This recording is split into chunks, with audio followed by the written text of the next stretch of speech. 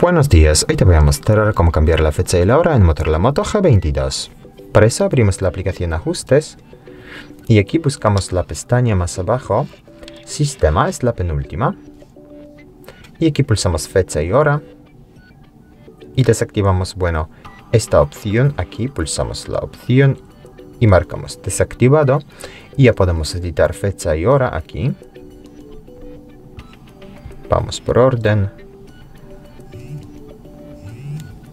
Pulsamos aceptar y con zona horaria más abajo pasa lo mismo, desactivamos esta opción, pulsamos elegir zona horaria, luego región, por ejemplo Andorra, pulsamos atrás y ya está, los cambios ya están introducidos.